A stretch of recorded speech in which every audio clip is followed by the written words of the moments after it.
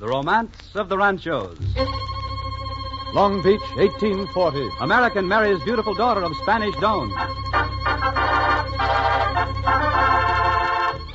Long Beach, 1864. Great drought ruins ranchos. Long Beach, 1921. Oil discovered on Signal Hill.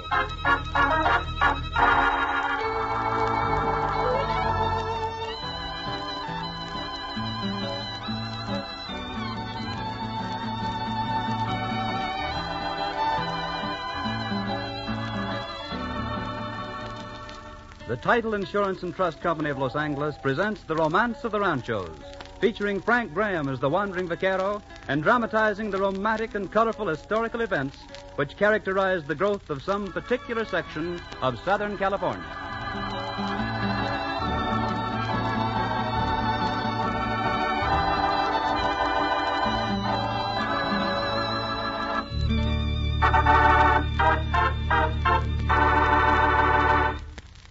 Life in California in the early days was always colorful and romantic, and usually adventurous and exciting. Things that really happened right here where we live today were so full of interest that it is not necessary to depart from the true history in constructing these programs. In presenting Romance of the Ranchos, the Title Insurance and Trust Company of Los Angeles is, by the very nature of its business, exceptionally fortunate. For the same records by which the company is able to verify land titles by tracing ownership all the way back to the earliest Spanish land grants, also provide a convenient and accurate source of authentic historical facts. Title Insurance and Trust Company is very happy to be able to share this treasure chest of fascinating information with the citizens of the community it serves.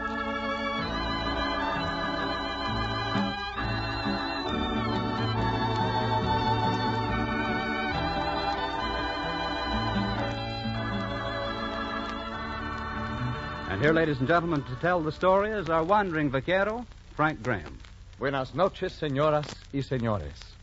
Tonight we take you to the city of Long Beach, a great modern city which a century ago was a vast pasture land, part of two ranchos, the Ranchos Los Cerritos, the Little Hills, and Los Alamitos, the Little Cottonwoods.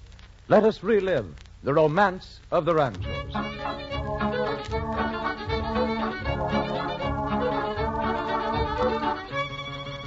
In 1784, one of the first ranchos to be granted by Governor Pedro Fages was a vast tract conceded to the old soldier Manuel Nieto and called Los Nietos. The rancho stretched from what is now Rio Hondo and the Los Angeles River to the Santa Ana River, and from the ocean to El Camino Real and the Montebello and Puente Hills. In 1834, many years after the death of the old soldier, the great tract was partitioned among his four children by Governor Figueroa. The land which was to become Long Beach was split into two ranchos, Los Cerritos, going to Doña Manuela Nieto de Cota, and Los Alamitos, going to Don Juan Jose Nieto. But shortly afterward, Juan Jose was called to see the governor in Los Angeles. You wish to see me, Your Excellency? Si, Senor Nieto. You are the owner of a rancho called Los Alamitos. But of course, Your Excellency. You granted it to me only a few weeks ago. So I did. You're not not going to take it away from me, are you? Uh, in a way, yes. But, but Your Excellency, I, wish to buy it. Oh, well, that's different. You already have two other ranchos. You would not mind selling this one? Well, perhaps that is if the price. I will give you 500 pesos. 500 pesos for six square leagues of land. See? 500 pesos. It is not much. It is enough for the bare land. You have no stock on it. I must go to the expense of stocking it. See, that's true. You have little use for it. You have enough land on your other ranchos. Well, 500 pesos in cash is no paltry sum. It will buy many cattle. Properly invested, it can make you rich. uh, Come, come, what do you say, Senor Nieto? well, I don't know. I'll have to think it over. Oh, well, then perhaps I'll have to buy land up north. There I can get a bigger rancho for less money. I shall save some of my 500 pesos. Well, as a favor to you, Your Excellency. But only because of that, I will take the 500 pesos. Los Alamitos is yours.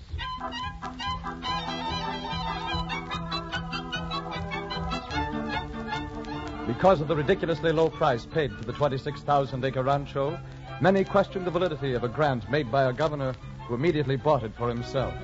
But the sale was not disputed.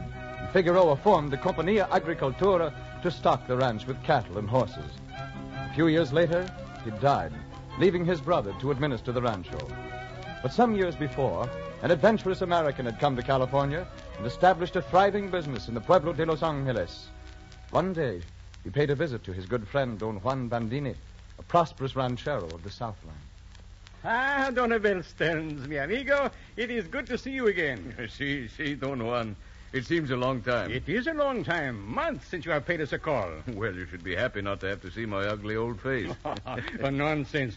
Why do you not come more often? oh, business, you know. For an old bachelor like me, there's not much of interest except making el dinero. Uh, you Americanos, that's all you think about. Why do you not just live, enjoy yourselves?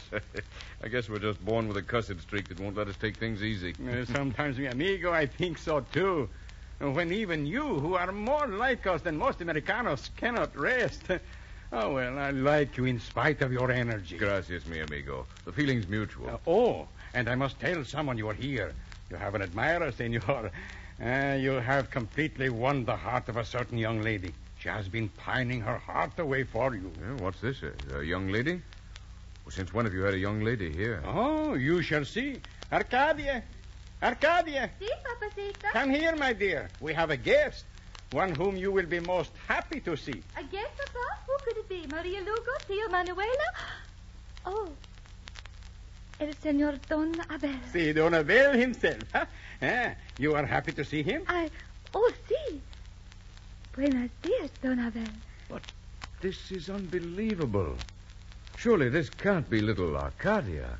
Si, senor. Now, you see how long it has been since you were here last? Well, she, she's grown up. a real young lady.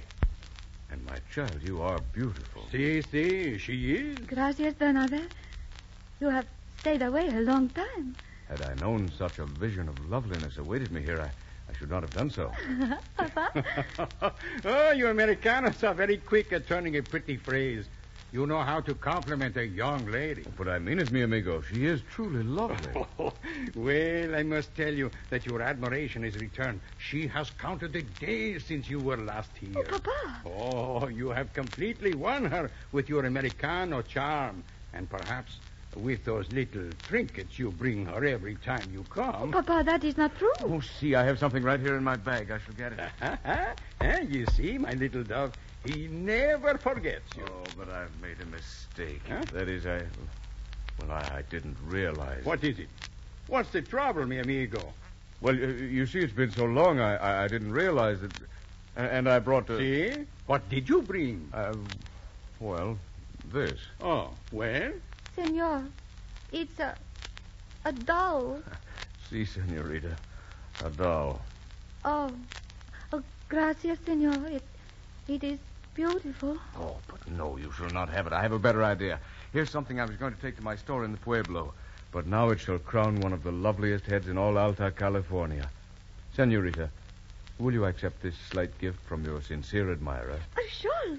Oh, Papa, a silken shawl. Oh, it is lovely. Oh, but, senor, it is too much. It must be worth 20 pesos. It is most elaborate. You must not for this silly girl. Senor, I insist. It is less than a fitting gift for so lovely a young lady. Oh, Senor Don Abel, dear Don Abel. I cannot say how much I like it. Gracias, gracias, Senor. Here, here, senorita. What are you doing? Oh, there, that is how happy I am.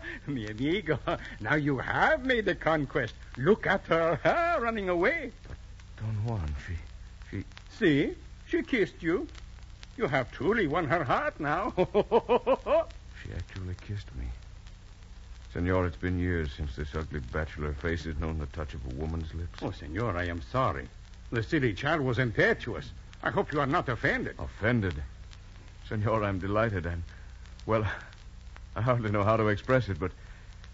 She's wonderful, Senor. Wonderful.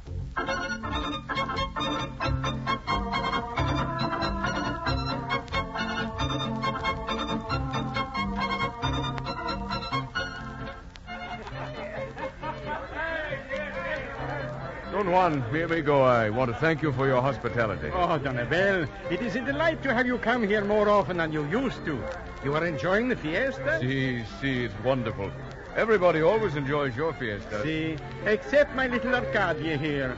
She has been looking sad all evening. Oh, senorita, you must not mar the loveliness with such a doleful look. Why are you sad? Perhaps because you have not danced with me for so long, senor. but Don Abel has already danced with you three times, Arcadia. Are you sure it is not because he has also danced with the other senoritas? Of course not. ah, she's jealous of you, mi amigo. oh, such a silly girl. Senorita, will you dance with me now? I do not think so. I am tired. now she is going to punish you, senor. Senorita, Arcadia, don't you think I've been punished enough? Having to dance with all those other old crows when I might have been with the loveliest senorita in all Alta California? senor, I shall not listen to your flattery. Eh, perhaps not, but you cannot stop blushing, little dove. Papa. Will you dance with me, senorita? Well, Come. Have pity on your most humble admirer. all right, but do not think it is because of your flattery. I can see through that, senor. Very well, then, just to please an old bachelor. Gracias. If it will please you. And now I am deserted again. Oh, well, enjoy the dance.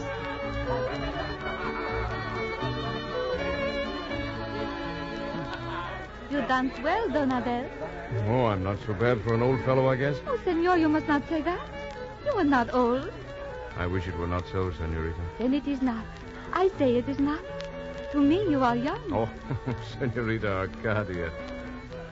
No, you're wrong. But I am not. Don Abel, I am tired of dancing. Shall we sit down? See, perhaps in the garden. Won't you be cold? No, no. Come. Very well. My arm, senorita. Gracias.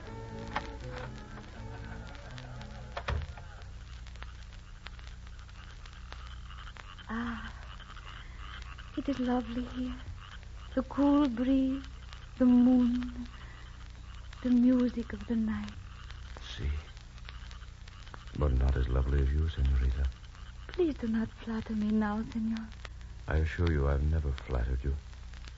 To me, you're the loveliest thing that ever lived. Don Abel, Don't move. With the moon in your face, you're, you're an angel. mi amigo, you must not say those things. Not tonight. Already I have dreamed too much. Dreamed. See, for a young girl's heart, senor, there is no accounting. It is easily overthrown. See. So is an old man. Please do not say that ever again. You are not old. I'm over 40. And what does that mean? Nothing. I am very young. But somewhere, somehow, our hearts reach out into space to meet. Age makes no difference. My dear. You can't mean that. I do, Don Abel. See, I do. Senorita Arcadia. You're wearing the shawl. My shawl as your mantilla. See, it is my treasure. Perhaps you'd accept another gift from me. A different kind of gift. What, Don Abel? This. I've carried it with me for days now, hoping to find courage to ask you. Don Abel, mi corazon. It is a necklace of pearls. But that means marriage. See? I got it in Mexico, just for such a time. It's for you, if you'll accept it. You want me to be your wife? If you will have me. Accept you? Oh, mi querido. This is what I have dreamed. And now it comes true. Mi amado, I shall be most happy to be your wife.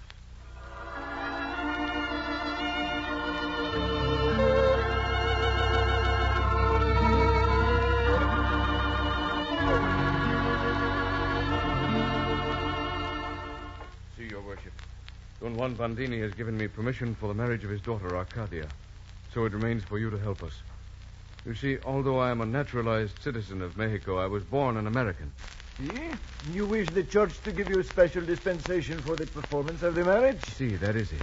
Well, Senor Stearns, since you are an outstanding citizen of our community and an upright, righteous man, I see no reason why such permission should not be granted you. Oh, gracias, gracias, Your Worship. I shall arrange it immediately so that the banns may be published. Uh, uh, Your Worship, I have one more request to make. See? As you no doubt know, there's some disparity between the ages of Senorita Arcadia and myself, and I should like to avoid any ridicule which might be directed toward us by some thoughtless young people of the Pueblo. See. I understand, senor. So uh, perhaps we could dispense with the banns and be married right away. If it could be arranged, I should be most happy to contribute to any charity which you might indicate. Senor, that will not be necessary unless you wish. But I feel sure that under these unusual circumstances, the marriage can be arranged as you request. And may I offer my blessings on your union and my hope that you shall live a long and happy life together.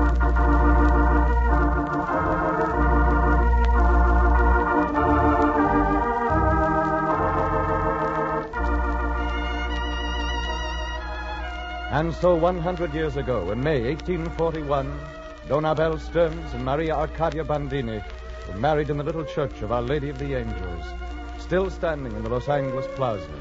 And now Don Abel must have a fitting home for his beautiful bride. And so, on the corner of what became Main and Arcadia streets in Los Angeles, he built the showplace of the town, El Palacio. It quickly became the center of the social life of the growing city. It was there that the most lavish parties and fiestas were held. And it was there that Don Abel brought home news a few months after the marriage. Arcadia? Arcadia? See, Abel, what is it? Oh, my dear, I have news. Great news. What is it? Tell me quickly. You're so excited. See, I have a right to be. I've bought my first rancho. No. See, I've just settled matters with Francisco Figueroa, brother of the late governor, to buy his rancho Los Alamitos. Oh, mi querido, that is wonderful. I am so happy for you. See, my dear, now I'm a real California ranchero. But this is only the start. I shall buy more ranchos and more cattle. I shall build my holdings up until I'm the biggest ranchero in all Alta California. See, Oh, mi querido, you are so funny. funny?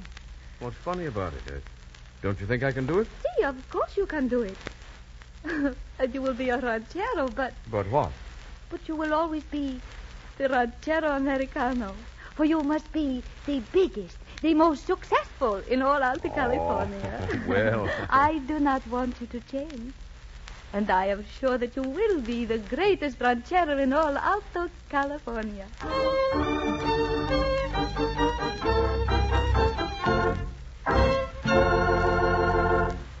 Frequently, we have referred to Title Insurance and Trust Company's huge system of records called its title plant.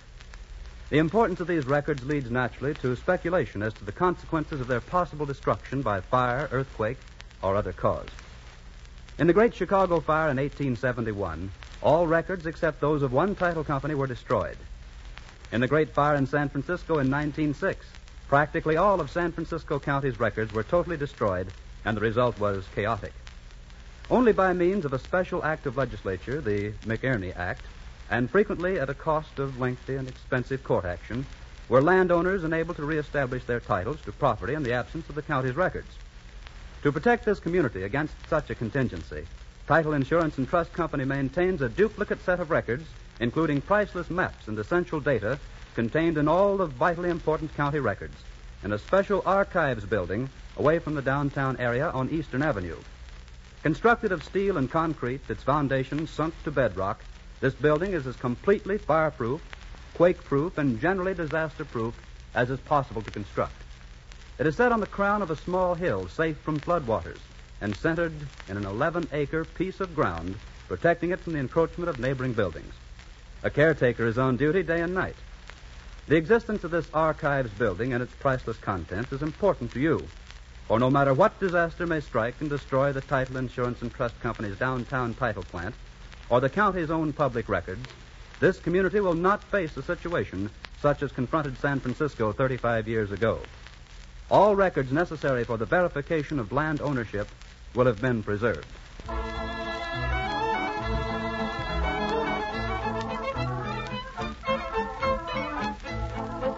Don Abel Stearns vowed that he would become the greatest ranchero of all Alta California, and he kept his word. One after another, he acquired ranchos until he owned a vast acreage spread out over all of Southern California. At the Rancho Los Alamitos, he acquired a new neighbor, another American, Don Juan Temple, who married the daughter of Doña Manuela Nieto de Cota and bought the ranchos Los Cerritos from her and her brothers and sisters. So now all the land that was to become Long Beach was owned by the two Americans. Don Abel and Don Juan were friendly rivals in business, but close friends socially. Sometimes the work was shared, and sometimes a visitor was amazed to be taken on an interesting excursion called a run through the mustard. See, my friend, here they come. Those are Don Juan Temple's men coming up. I see him. Hear all your vaqueros, huh? Well, now, what is it you and I are going to do? We're going for a run through the mustard. Sounds crazy to me. What do we do? Well, you see the mustard? No. Where's any mustard? There in the field, right in front of you. You mean those uh, tall weeds or trees or whatever they are? They're mustard plants. I never even knew mustard grew in plants. Thought it was something that came out of a can. this is wild mustard growing here in these plains. As far as you can see, that's taller than a man on horseback. See, and that's the trouble. One can get lost in it very easily. Ah, I can imagine. Well, then, uh, why are we going for a run through it? Because many head of cattle stray into it and get lost. We can't see them. They're hidden. So we gather all the men and ride through, keeping a certain distance apart, and drive all the cattle out the other side. well, well, well. Hi there, Don Juan. Are we ready? He's ready. You take that in, Don Abel. See? All right, men, you know what to do. Into it. Come on, my friend. Now you shall see what a run through the mustard is like. Adelante!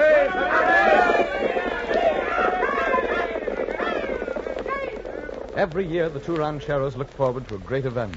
Both were great horse lovers, as were most of the early Californians.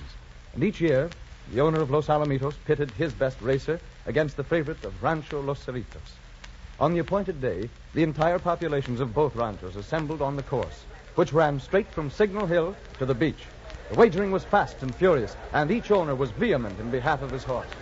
Don Abel, that Palomino of yours could not beat a very slow cow. She doesn't have to race a cow, but she can very easily beat that pinto of yours. I'll bet another hundred that she doesn't. Make it 500 and I'll take it. Very well, it's a bet. Mark it up, senor. Are you ready, Don Abel? Shall I give you a signal? See, wave the flag. We shall show this gentleman what the horses of Los Alamitos look like. And here it goes.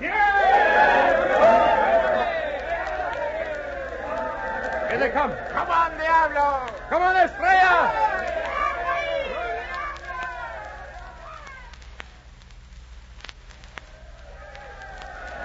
It's Diablo leading. Oh, you can't see straight. It's Estrella. Diablo's still leading. They're coming close. No, no, it's Estrella. It's Diablo! Here they come. It's Diablo! Diablo! Estrella. It must be Estrella.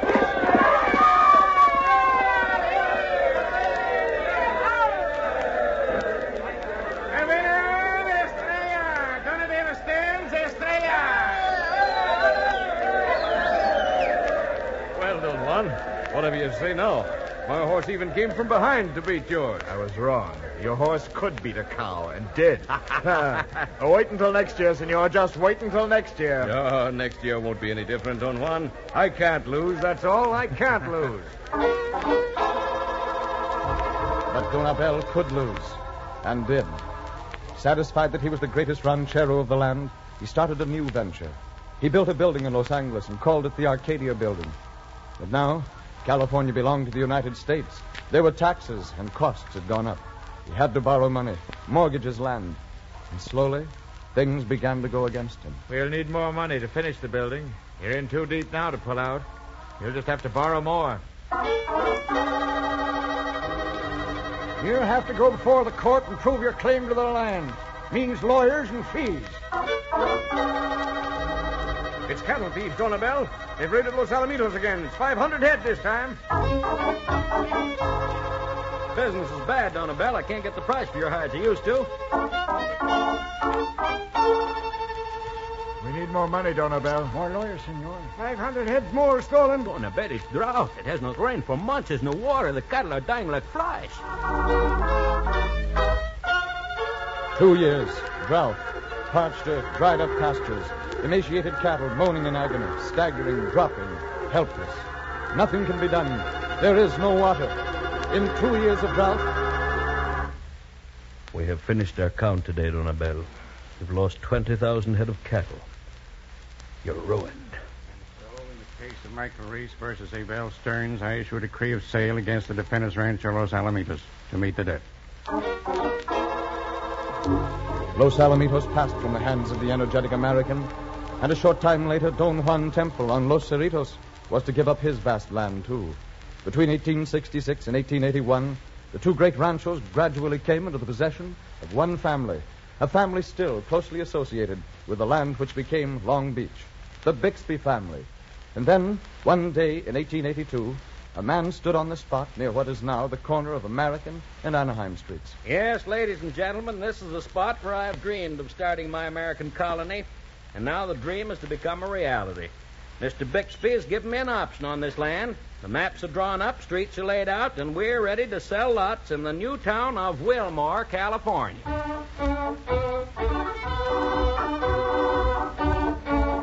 William Irwin Willmore's ambitious plans for a city collapsed.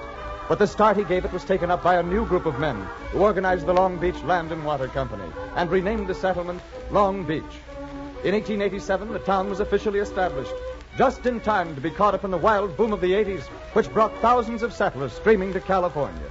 The Terminal Railroad and then the Pacific Electric offered new, easy access to Long Beach, and the seaside resort grew by leaps and bounds. 1900, 2,252, 1910, 17,800, 1920, 55,600, 1930, 142,000, 1940. 163,000 people. Partially responsible for such phenomenal growth had been the great discovery which took place one day in 1921 when Here she comes! Look out!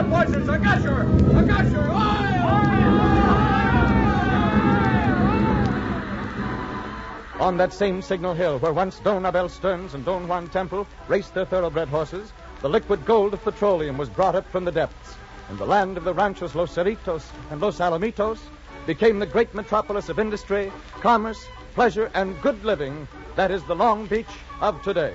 Such is progress, and such is the romance of the ranchos.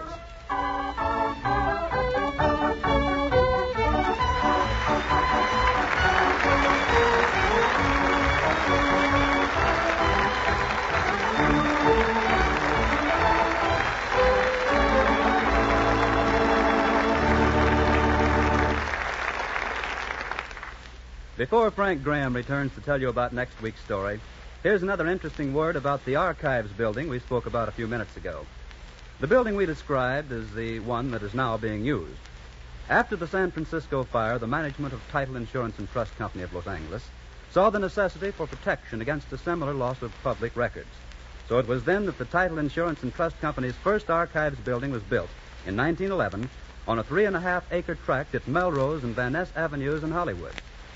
At that time, the company had great difficulty in obtaining a caretaker for two reasons that are interesting today. The first was that the location was so far away from the city, a caretaker living on the property, it was said, would have no opportunity for any social life whatever. The second objection was that the howling of coyotes at night made it impossible to sleep. Remember now, that was at Melrose and Van Ness Avenues in Hollywood only 30 years ago. It illustrates the speed of this community's growth a growth that quickly cured those particular objections to the location. However, the building finally became too small, was abandoned to the march of progress in 1939, when the present Archives building on Eastern Avenue was completed.